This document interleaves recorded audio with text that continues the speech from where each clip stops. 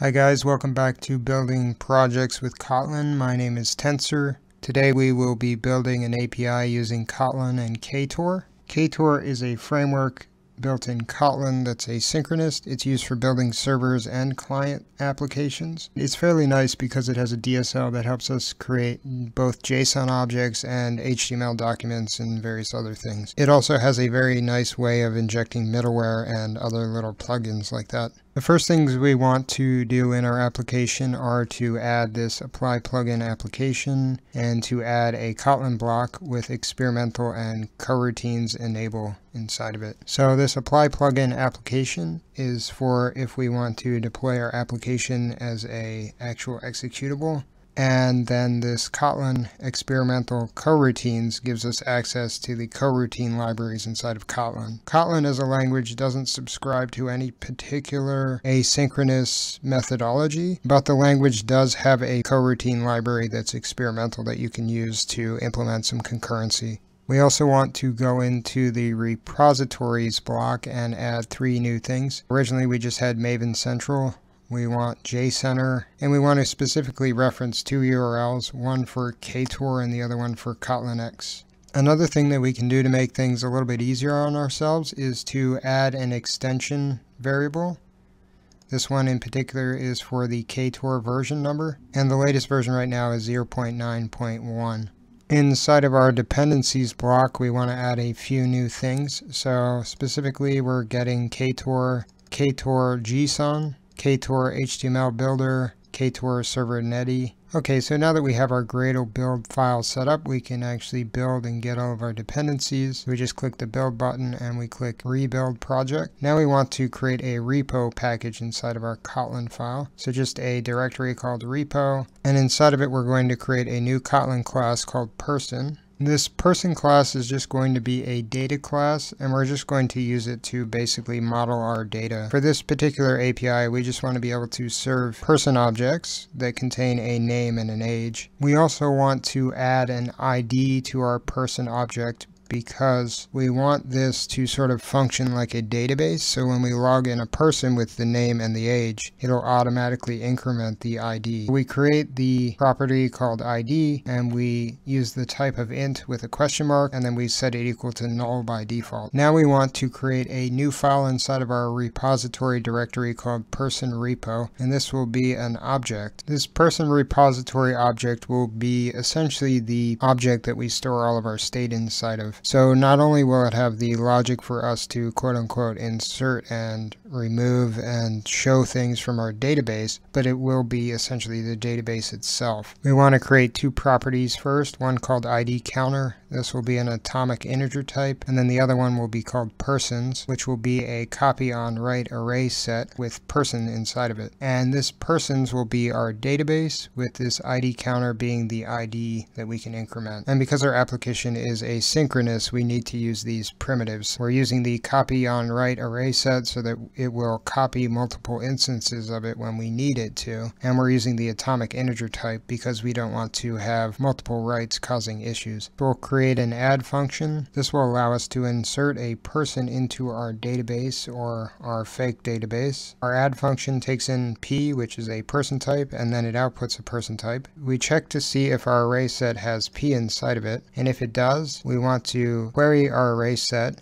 with find and we want to send back the actual person that we found inside of it. So what we do is we check to see if it equals to p and then these two question marks basically say well if this is true we want to send it out if it's false then we want to throw an exception. Now if our persons does not contain p then we want to take p.id which is our id and we want to call id counter auto increment and get which will increment the counter and then get the new number. So for instance if we put in our first person the first number will be 1 and the second person will will be 2, etc. Then we'll add to our person's array set the person that we're putting through this add function and then we'll return that person.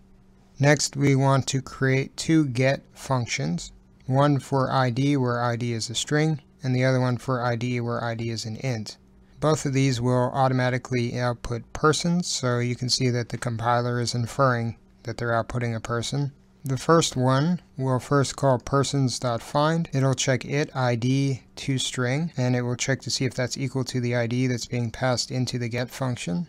If it is, it returns the person, so it actually gets the person out by its ID. Otherwise, we throw an illegal argument exception where we say no entity found for this ID. We're using the Elvis operator to do this. For our other get function, if it's an integer, we just want to call our initial get function with the ID converted to a string. Even if the user passes in a string, it'll work using the string variant of this, and if the user passes in a integer, then it will be converted to a string and then passed through the original function. We'll also create a getAll function. This will pass back a list of person. So we'll just take our persons and then we'll call to list on it and this will just return an entire list with all the people inside of it.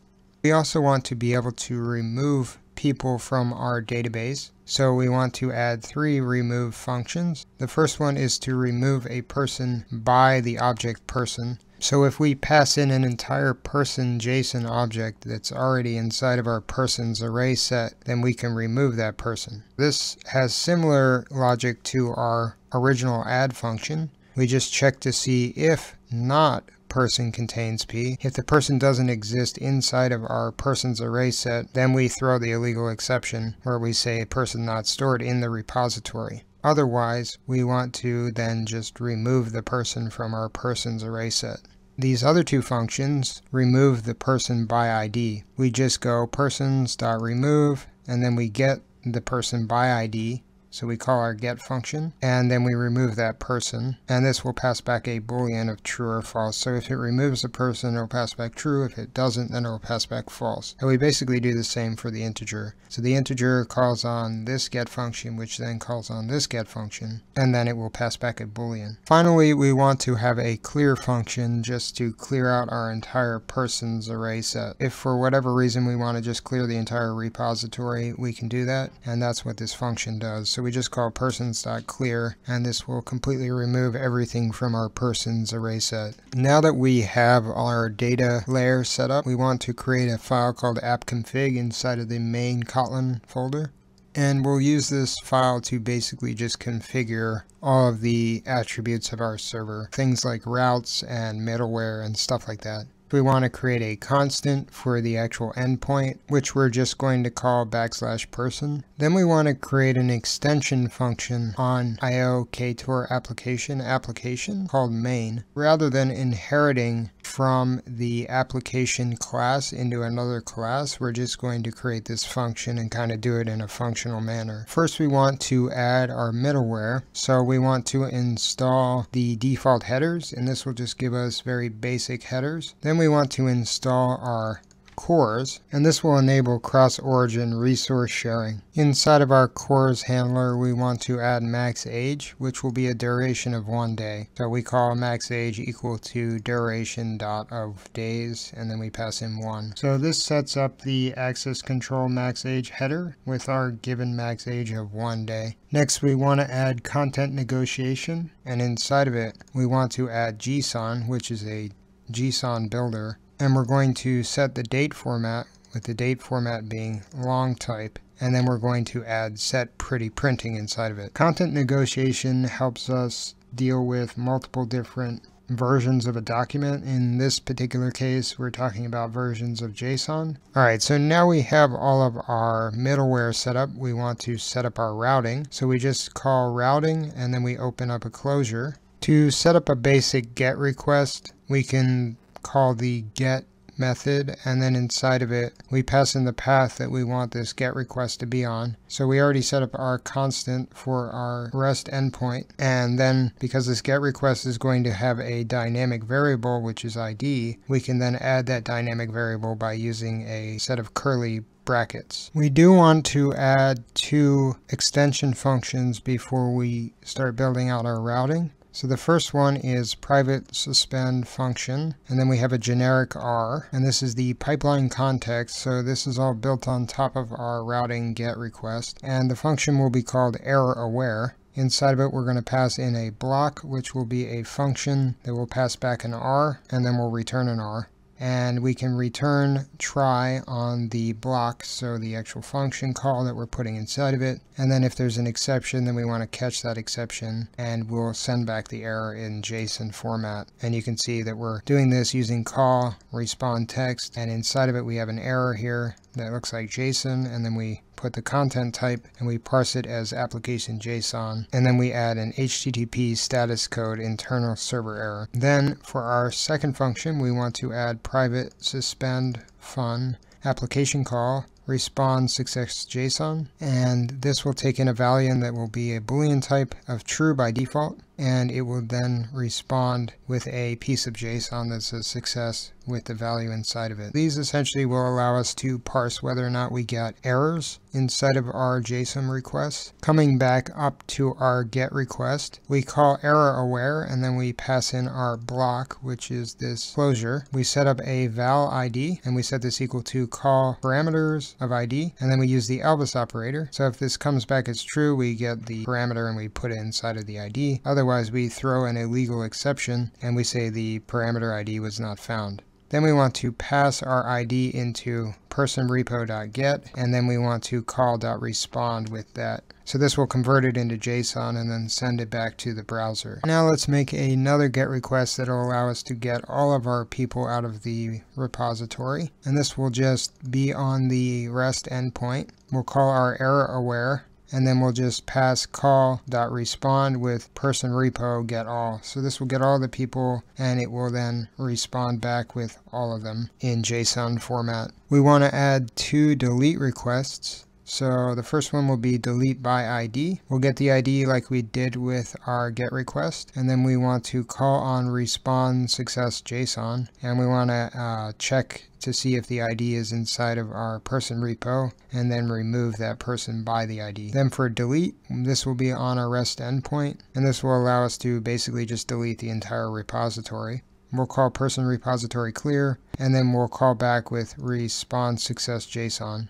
Now let's have a post request. So this will allow us to send a JSON person object and then file it inside of our repository. We'll use call.receive to get the person. We'll bind this to receive and then we'll print out that we received that person. And then we'll use call.respond person repo add that received. So we'll add the person that we received into the person repository. All right, so that's all we want to do for our API. But before we're finished with this file, I actually want to build out a little bit of HTML to show you guys what Ktor can actually do.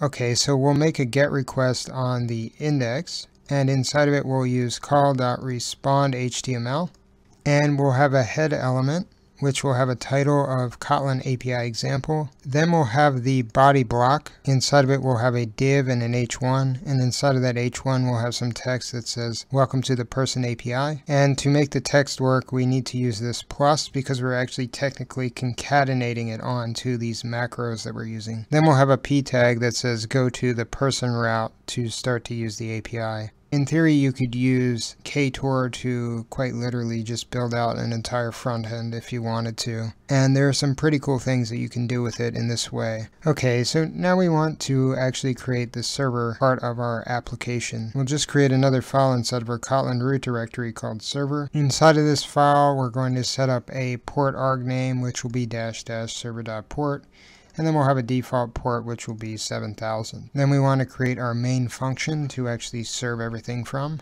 and we will go val port configured, we'll set this equal to args is not empty and arg0 starts with port arg name. So this will allow us to run this from our command line if we want to. And then we'll run a quick if else check to see if the user inputted an object into the command line and then we'll run our embedded server. And inside of our embedded server we'll run using netty we'll put in the port and then in our module we'll set this equal to application main which is the function we created in app config. and then we'll start it up and we'll have it just sit statically. That's why we're putting this wait equal to true. Now we can run our application. We can just run it through IntelliJ or we could run it using Gradle. We could build it and then run the executable. In this case I'm just going to run it through IntelliJ because it's just easy that way. And if we go to localhost 7000, you can see here's our static piece of HTML that was created. Just says welcome to the person's API, and it says go to person to use the API. And so I'm going to open up Postman so that we can actually send some get, post, and delete requests. First I'll send a get request to localhost 7000 person, and this way we can send a post request to localhost 7000 person, and we're going to put in the name of John Doe and an age of 74. If we hit send, we get this response. Okay, so we had an error because we were putting in age with a capital A. So now if I put in a new John Doe with age of 23, you can see that now we have a new ID 2 and a name John Doe with age of 23. And we can literally put in any string we want and any age. So Jane Doe is 1032 years old. And of course we can get back our array of people. So we have three people in here, uh, various different ages and various different names. If we want to delete the first person, we can delete them by ID. So we can call localhost 7000 person 1. And this will delete the first John Doe that we sent in. And if we try to get that person by the ID of 1, you'll see that we get this illegal argument exception that says no entity found for number 1. And of course we can call our batch get again and get all of our people. And if we just want to delete all of the people from our repository, we can just call localhost 7000 and use the delete request. And this will call back with success true. Alright guys, well I hope you enjoyed this tutorial. If you did, feel free to like and subscribe. If you have any questions or comments, feel free to leave them in the comment box below. And if you disliked it, then by all means downvote it as much as you like. Have a good day.